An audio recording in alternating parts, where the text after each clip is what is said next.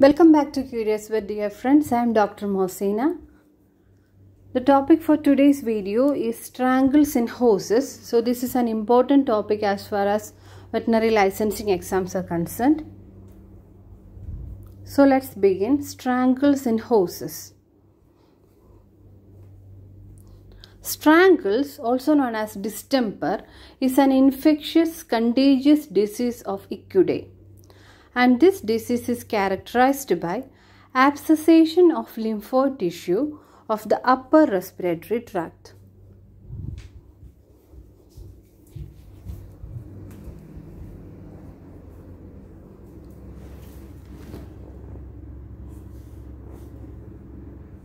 The causative organism is Streptococcus equi equi.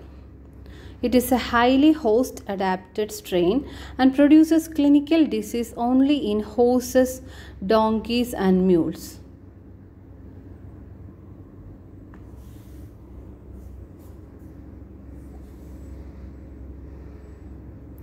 It is a gram positive capsulated beta hemolytic Lancefield group C coccus and it is an obligate parasite and a primary pathogen.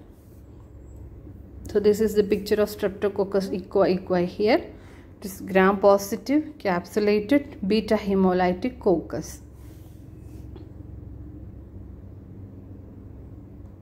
Coming to the etiology and pathogenesis, Streptococcus equi equi is highly contagious and produces high morbidity and low mortality in susceptible populations. Transmission occurs via fomites and direct contact with infectious exudates. Carrier animals are important for maintenance of bacteria between epizootics and initiation of outbreaks on premises previously free of disease. Survival of the organism in the environment depends on temperature and humidity. Because this bacteria is susceptible to desiccation, extreme heat and exposure to sunlight and must be protected within mucoid secretions to survive.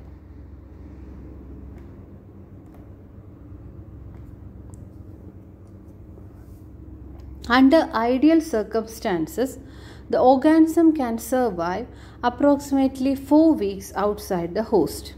Under field condition, most organisms do not survive 96 hours.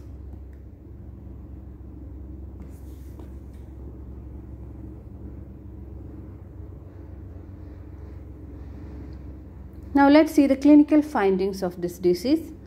The incubation period of strangles is 3 to 14 days. First sign of infection is fever 103 to 106 degree Fahrenheit.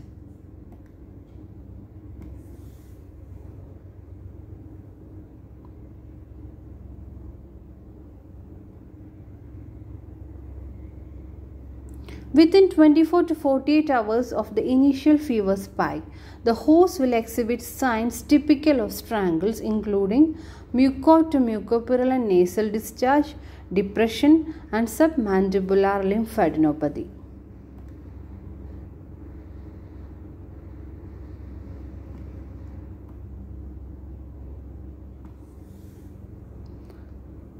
Here you can see a picture of ruptured submandibular abscess under the chin of a horse recovering from strangles. Granulation tissue can be seen around the borders of the ruptured sites.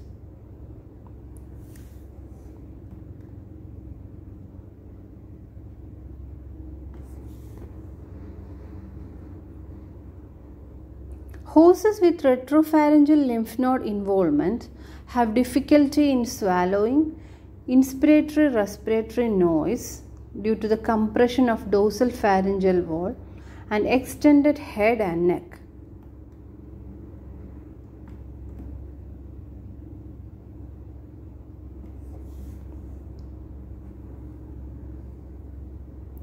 Older animals with residual immunity may develop an atypical or catarrhal form of the disease with mucoid nasal discharge, cough, and mild fever.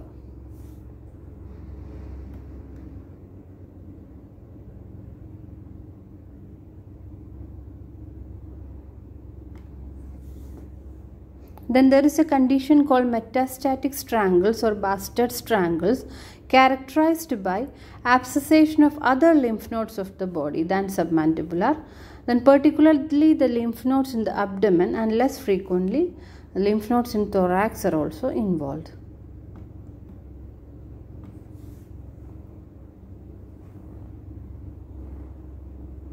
Here you can see a picture of hose with metastatic or bastard strangles. There is pharyngeal swelling discharging abscesses. Then weight loss, abducted elbow associated with dyspnea and ventral edema.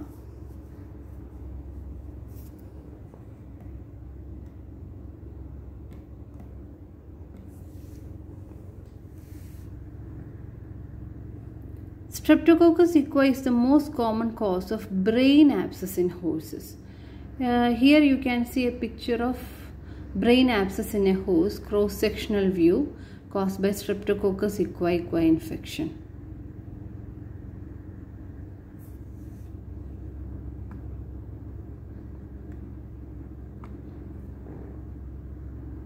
Now moving on to diagnosis. Diagnosis is confirmed by bacterial culture of exudate from abscesses or nasal swab samples. CBC reveals neutrophilic leukocytosis and hyperfibrinogenemia. Serum biochemical analysis is typically unremarkable.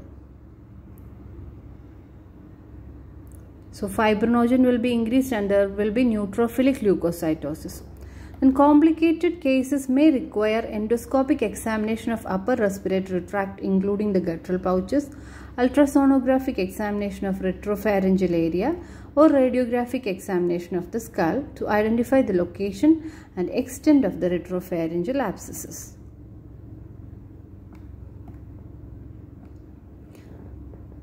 Here you can see the endoscopic image obtained from a hose with Streptococcus equi retropharyngeal abscess. Here the abscess is compressing the do dorsal wall of the nasopharynx, obscuring visualization of the arytenoid cartilages.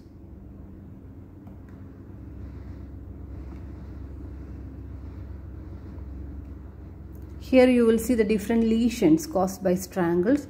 There is guttural pouch empyema, that is seen on the top leftmost picture. Then there is brain abscess uh, then suppurative inflammation of larynx, then left and right retropharyngeal lymph nodes. So here you can see the location of guttural pouch also in the second picture.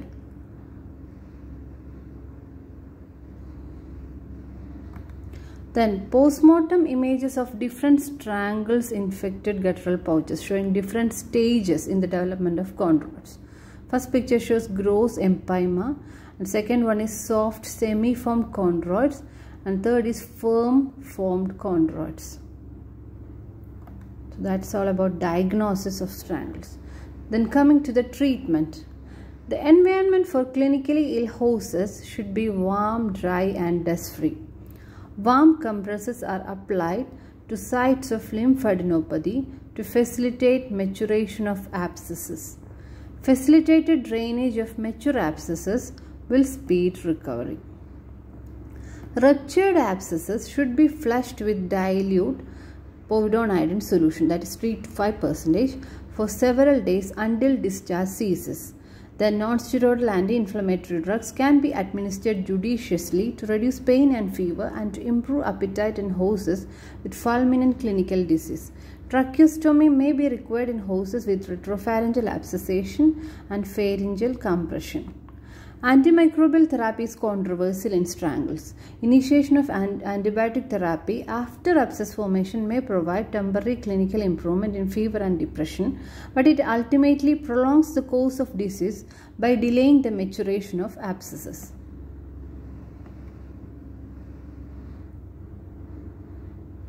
Antibiotic therapy is indicated in cases with dyspnea, dysphagia, prolonged high fever and severe lethargy or anorexia.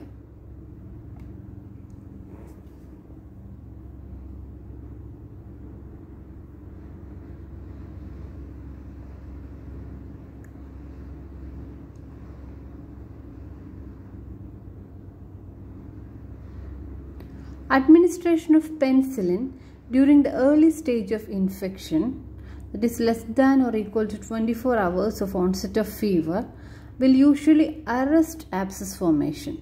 The disadvantage of early antimicrobial treatment is failure to mount a protective immune response and rendering hosts susceptible to infection after cessation of therapy.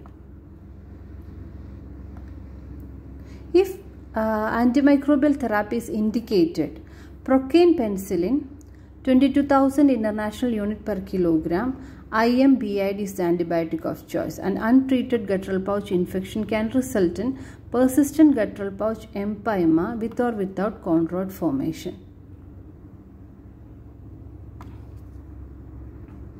Coming to the prevention. And if antimicrobial therapy is indicated, procaine penicillin is the antibiotic of choice and untreated guttural pouch infection can result in persistent guttural pouch empyema. Prevention Post-exposure immunity is prolonged after natural disease in most horses and protection is associated with local production of antibody against the antiphagocytic M protein.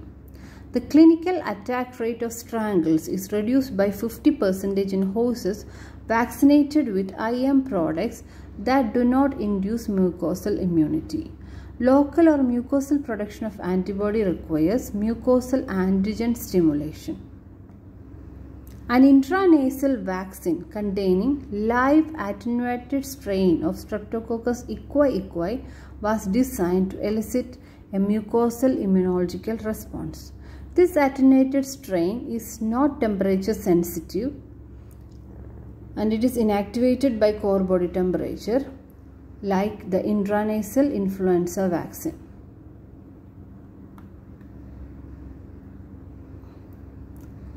Reported complications include Streptococcus equi equi abscesses at subsequent IM injection sites, live bacteria on hands of administrator causing submandibular lymphadenopathy, serous nasal discharge and purpura hemorrhagica.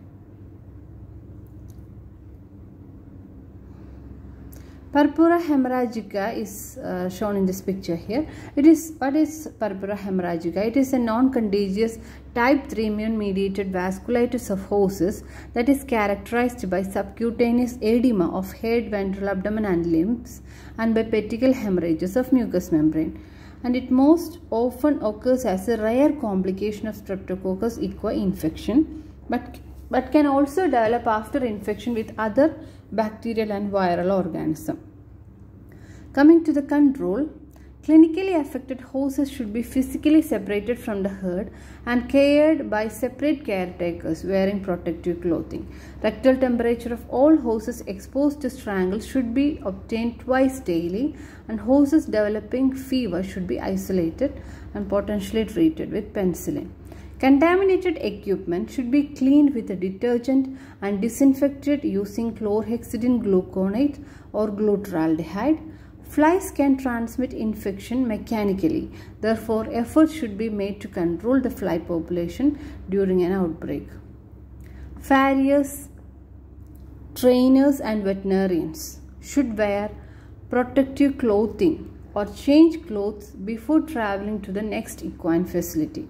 Additions to the herd should be carefully scrutinized for evidence of disease or shedding by nasopharyngeal culture and quarantined for 14 to 21 days. Two negative nasal swab cultures should be obtained during the quarantine period. Most horses continue to shed Streptococcus equi for approximately one month after recovery. Three negative nasopharyngeal swabs at intervals of 4 to 7 days should be obtained before release from quarantine. The minimal isolation period should be 1 month. Prolonged bacterial shedding as long as 18 months has been identified in a small number of horses and guttural pouch empyema is the source of infection in most prolonged carrier states bacterial culture of nasopharyngeal swab and or guttural pouch lavage is used to identify persistent carriers. so that's all about strangles in horses so it is a little bit long topic and all the uh, the clinical science diagnosis control and treatment all the aspects of this disease is very important. So if the video is informative please like it and share it with your friends and comment your suggestions. If you are new to this channel and not subscribed yet please subscribe and click the notification bell so that you get notified every time I upload a video. See you soon with another video. Thank you. Bye